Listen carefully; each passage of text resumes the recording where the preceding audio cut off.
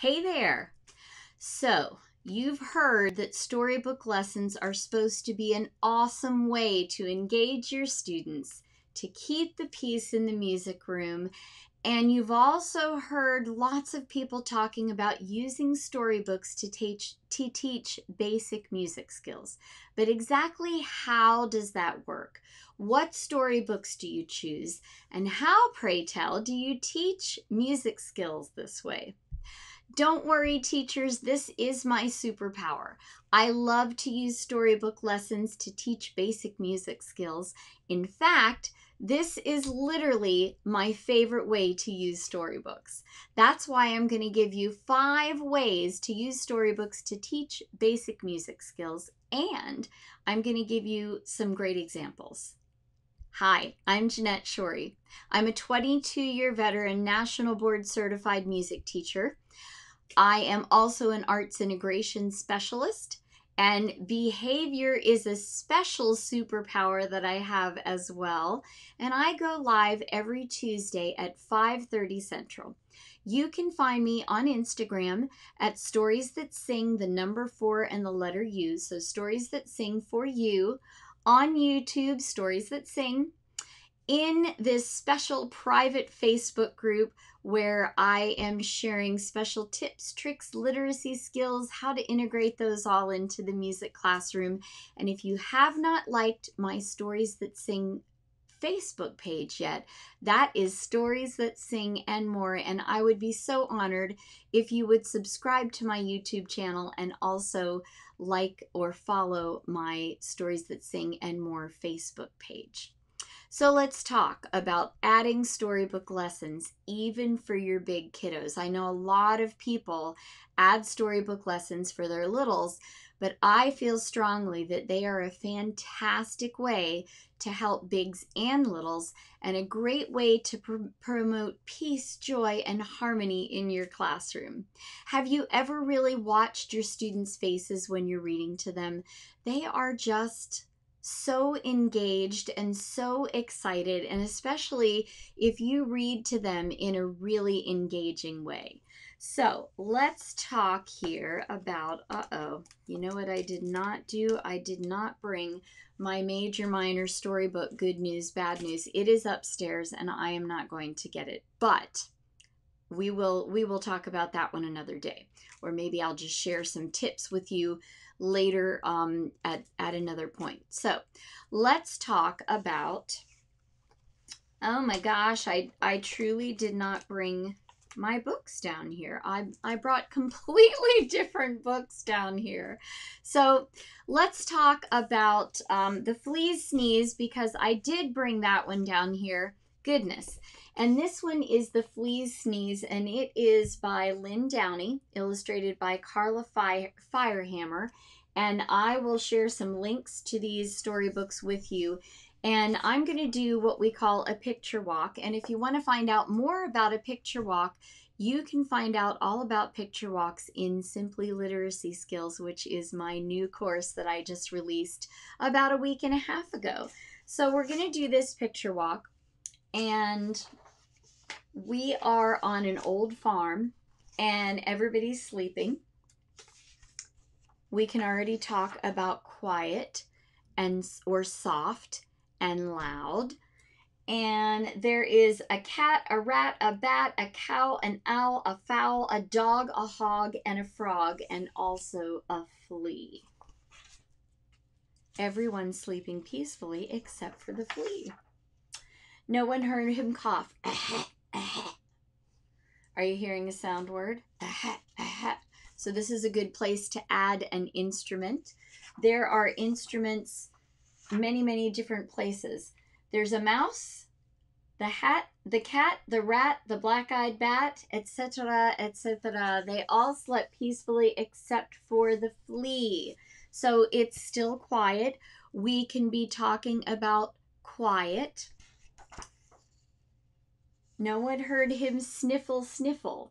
So, sniffle, sniffle, we have some syllabication going on. And again, if you want to know about syllabication, I talk all about that in Simply Literacy Skills.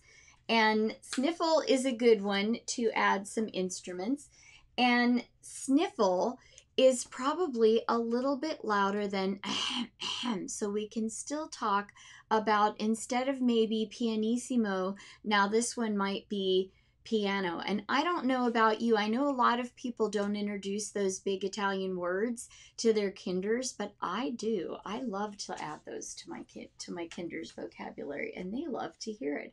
So again, you've got all those animals. Now if you love to do the um using different instruments like if you wanted to do this with second grade or third grade they would still totally love this storybook and what you would do here is you would add an instrument for the mouse and the rat and the cat and the bat and the cow and the owl and the feathered fowl and the dog and the hog and the old barnyard frog and another one for the flea.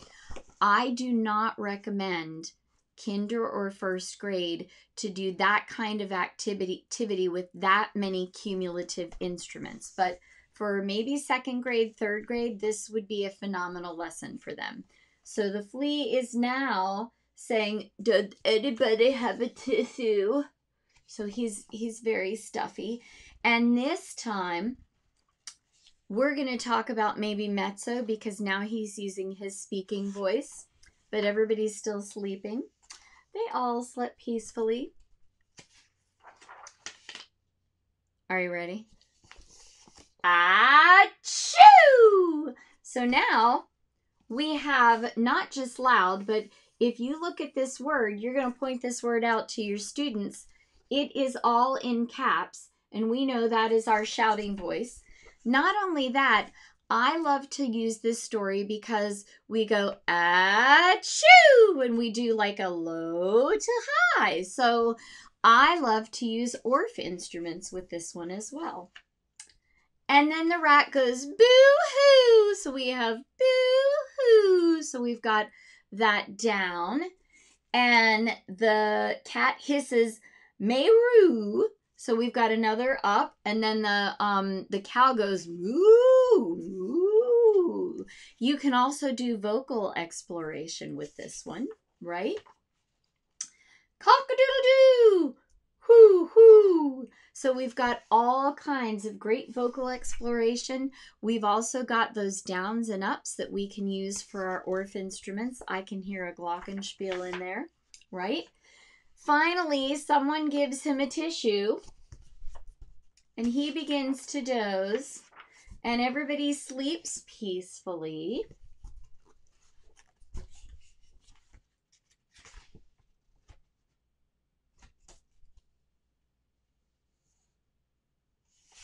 Everyone except the hog. I think I got the sneeze. So, again, that is probably like Mezzo's speaking voice. So, you see, we've got dynamics in here. We've got melody highs and lows. We've also got instrument play. So, these are all some really good things we can teach using the flea's sneeze. Now, I've got another one here. This one is called Doggone Dogs, and this one I use to teach um, TT or running note or um, double eighth note, whatever you want to call it. I also use this one to talk about the difference between alternating hands and hands together and I can use this one for rest. That's another one. I've, I've got my notes in here. So you see, I just put my notes right in there because that's really the best way to do that. And then I've got a little tiny melody in this one. So we're going to take another picture walk. The morning sun peeks through the dark the dogs begin to bark and no dogs, down dogs, sit down dogs, hey, doggone dogs do not obey. So they run the other way and they run away from their owner. And they all run out the door. So when they're running, we are using our alternating hands and there are times when they're leaping, when they're leaping, we're using our bouncing hands. They run out the door. again, you can use your running note, your, your double eighth notes. They run to the park.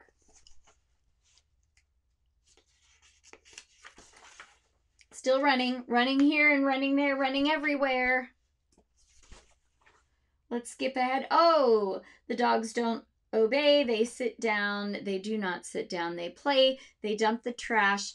They climb. They spring. Now, the word spring, fabulous word for enhancing vocabulary. If you don't know what I'm talking about with enhancing vocabulary, again, that's part of my Simply Literacy Skills course. But they climb, they spring. So the word spring, they're going to bounce and they are going to use um, their, uh, sorry, their hands together. And then they stop for a little poo. and now they're resting. So we can have our quarter rest, or actually, probably you could talk about even a longer rest, maybe a whole rest or a half rest, because it takes a moment, doesn't it?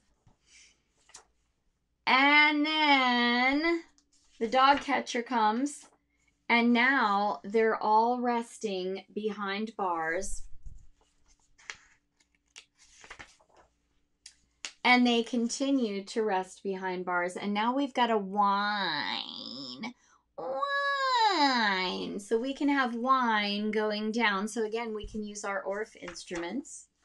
And the dog catcher is taking a nap, so we can be resting there, right? Oh, and now they leap. Curly takes the first leap, and they all leap over the fence. So now we can go leap and leap and leap and leap. So we've got all those wonderful hands together leaps.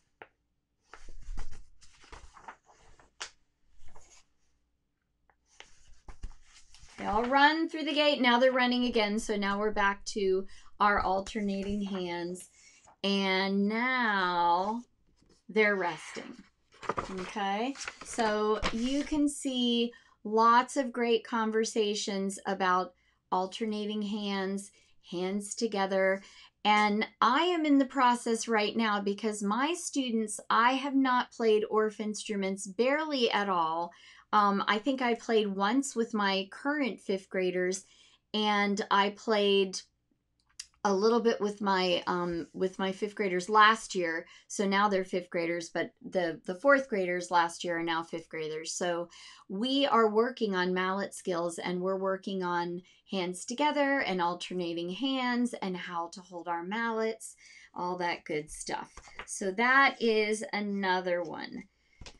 Now, I had wanted to talk to you about rhythm reading. So, we have, I told you I was going to do one duck stuck, but this one works just as well because this one happens to be down here. This is Wet Dog. And in this, I'm just going to like give you a summary. Um, summarizing is a fabulous reading skill that you can use with your students.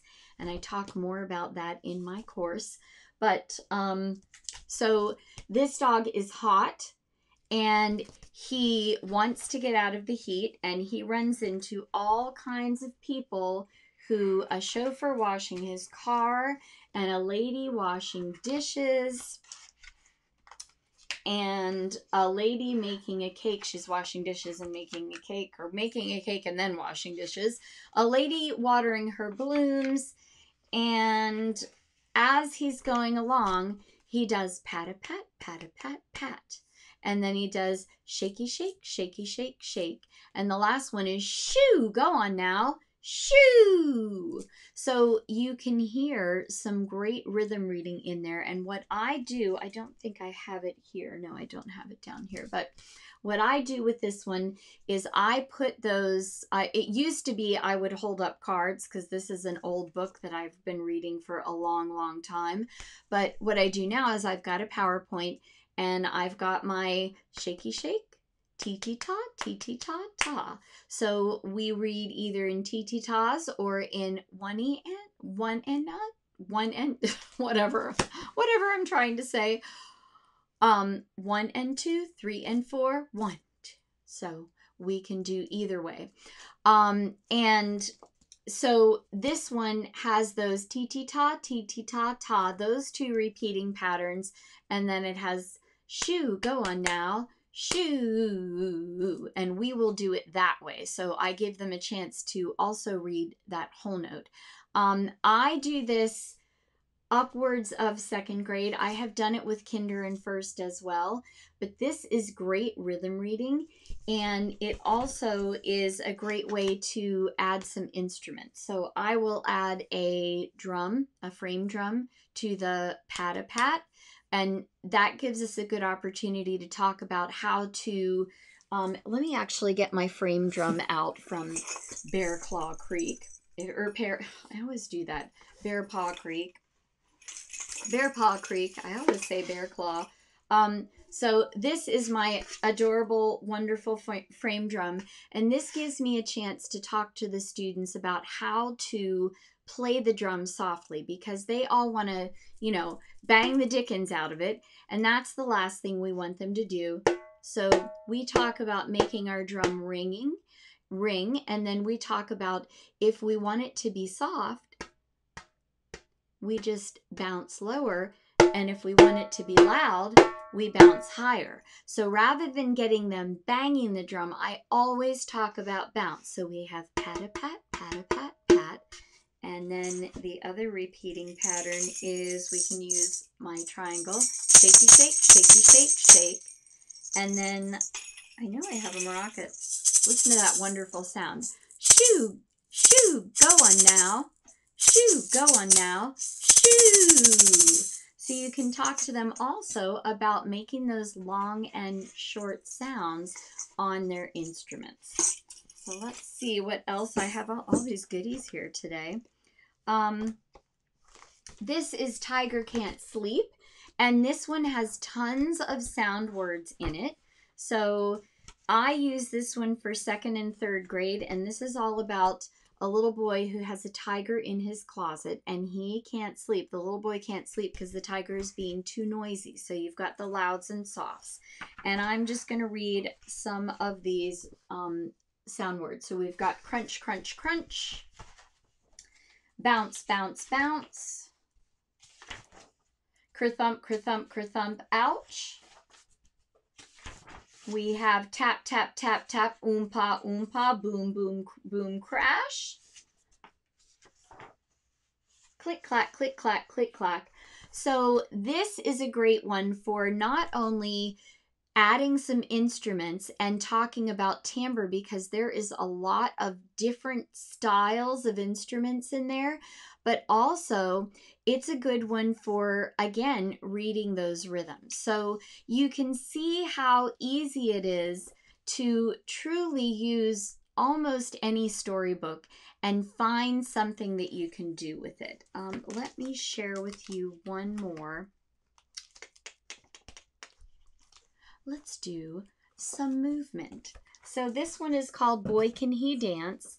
And in Boy Can He Dance, there are a couple of repeating patterns. I actually have these ones written down here. So we've got squeeze, squeeze, squeeze. We have scrape, scrape, scrape. Oh, whoops, that's upside down. scrape, scrape, scrape. We have um, plop, plop, plop and chop, chop, chop. So those are some sound words and some repeating patterns, but there is also some fantastic movement language in this one. So we've got um, kick, and actually I've got I've got those down here too. I have so many here. Let's see. We've got smack and tap. We have dance tap again. So you can tap your instrument. Um, we have round, let's see, twirl. That's a great movement word. We have, uh, that's another twirl. I've got some doubles in here. Spin, spin. So what I like to do with this, I have tons of extensions for this one. One of the things I love to do with it is, of course, play instruments because you've got all those sound words. Another thing I like to do with this one is create what we call a movement poem. So I split the students into groups of three or four, and I give them three or four of those words, and we've already so so I do like this. I say spin, and the students echo spin. I'm not going to do a movement poem with um, littles. This would be second grade, third grade. I've even done this with fourth grade, and they love it. Um, so you split them into your groups, and each one gets three or four of these words, and they get to decide what order they want to put them in. And you put on your music, and they use their words, and they they spin, and then they turn and then they stomp. So each group gets di- different words, and that's a really fun activity to do with them. So these are just some ways that you can use stories and uh, teach music skills as well. And we know that this all of that movement is great because one of our skills is moving to music. So this is a phenomenal way to do that. I hope you've found some value in this. I would truly love it if you would give me your suggestions, the things that you do with storybooks, so that we can all sort of share and have a conversation about that. If you have any questions, I am truly happy to answer questions. And remember, I go live here every week on Thursdays at 5:30 Central. I'm so excited next week i will be sharing I, i've decided that i'm going to do um, book recs book recommendations every month. And next week i will be doing some fall and some halloween um, recommendations just for this facebook group. Please if you know a teacher who might be interested in um, learning more about how to make their stories sing, please do make sure and share my information um, tag them on this uh, on this live or invite them to the Facebook group. I look forward to talking to you next week and have a great day.